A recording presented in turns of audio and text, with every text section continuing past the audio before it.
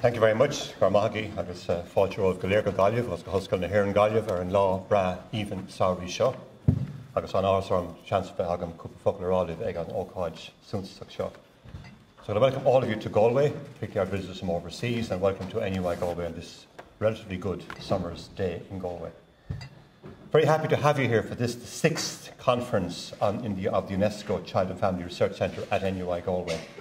And the conference theme this year, as you know better than I do, is engagement and participation on family support. These conferences, in effect, are a showcase for the work of the centre and, the, and serve, in effect, to allow the centre to present what it's been doing to you, many of you who are practitioners, and also to share experience with international partners and international colleagues who are working in, in, in these areas.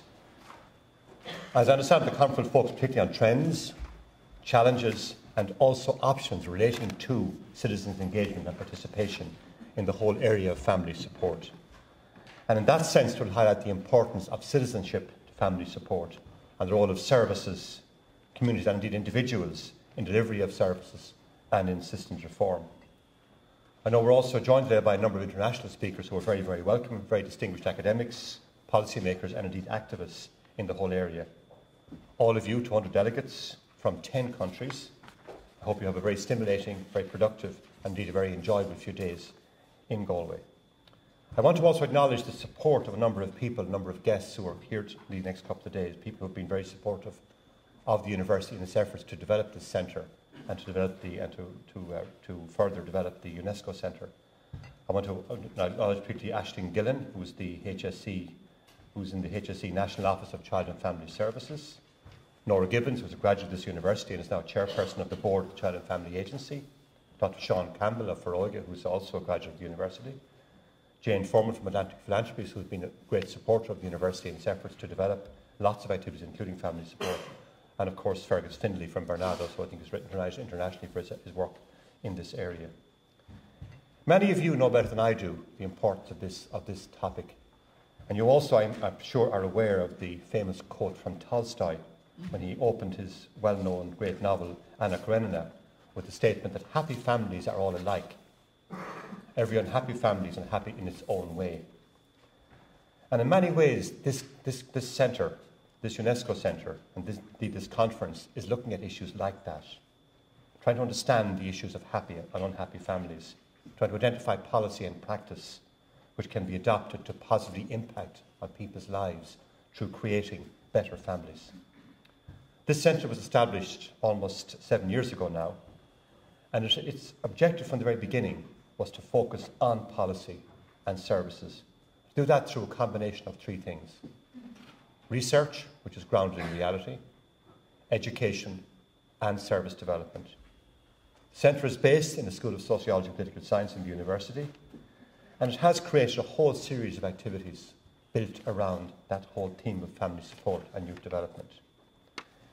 It has carried out a whole series of research activities with support from Barnardo's, with support from the HSE and other agencies, and with support from Atlantic Philanthropies, who've been a tremendous uh, financial supporter of the centre, indeed of tremendous help in terms of creating an agenda for the centre. The centre is now well established with a core of 22 staff, a director, an associate director, a development manager, an administrator, and a whole range of uh, research and support staff. The centre also offers a range of, of thought programmes, a very successful diploma and Master of Arts in Family Support, a two-year part-time programme. This has been going on now for 10 years. Takes in 20 students per, per biannual intake and is working extremely well. I understand one of the very few in Europe which addresses this topic and which has proven to be very successful both in terms of attracting students and also in terms of producing graduates who are relevant to society. We also have a structured PhD programme in the area of child and youth research, four-year full-time programme. This involves a collaboration with the Centre, the, the School of Sociology and Political Science, and Trinity College Dublin. And that programme takes in six students per year. Again, I think a significant intake and a significant contribution to creating a cadre of people who are able to go out there ultimately and, and influence the society in terms of developing better procedures, better policies, and better services. The Centre has also developed strong links internationally, and that's been done mainly through the UNESCO chair, which I think is also an important statement from UNESCO of the quality of work going on here, it's an important validation of what the university is doing in this area. And I want to also re refer to the fact that Pat Dolan, our, our, our Centre Director, has recently been appointed to the, to the um, new Child and Family Support Agency established by the Minister for Children and, and Youth Affairs, which also recognises his contribution in that area. The centre also continues to, continues to develop. We've been very fortunate in the past couple of years to have great support from philanthropy. And in this particular case, Atlantic Philanthropies again have given the university a significant amount of money to create a single building to house three research units. These units are all in sort of in cognate areas. One is in the area of social gerontology, dealing with essentially older people. Second, of course, is, is, the centre that we're, we're now dealing with here, the UNESCO Centre for Child and Family Research, and also a third centre in disability law. So those two centres are coming together into a single life course institute, which will be housed in a building which we will start to build in the next two weeks. And that building will provide a facility which will provide essentially services around, sorry, provide facilities for teaching, research, and most important, community engagement in those three areas. We very much appreciate the support of Atlantic in doing that.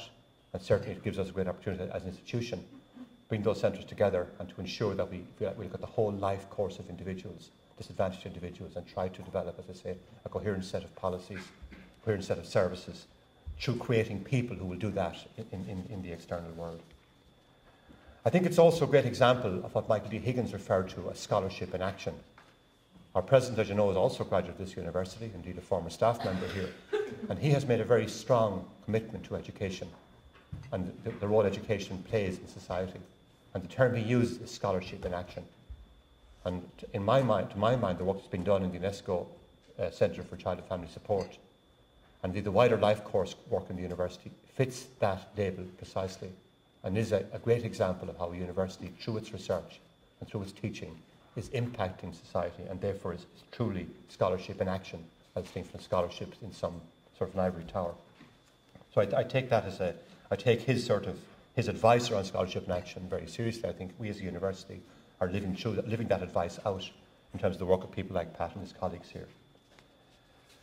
I think it's also important to say that the research in the university, and, and again it's true of this, this child and family support area, research drives teaching in the university. The university is differentiated by the fact that it's, that it's research-led in terms of its teaching. And we are very keen to ensure that happens in this university through the, the involvement of people who are active researchers in the delivery of undergraduate and postgraduate programs in, in all of these areas. And that's, that's also, uh, I think, done well in, in, in the area of child and family support. So I want, to, I want to finish by commending my colleague Pat Dolan his team for doing a tremendous job in the university over the past few years, for their ongoing success in attracting research funding, and for their work essentially putting this university on the map in this whole area and indeed contributing to the national effort to, uh, to um, to develop research and action in child and family support. Carmina Margaret, thank you very much.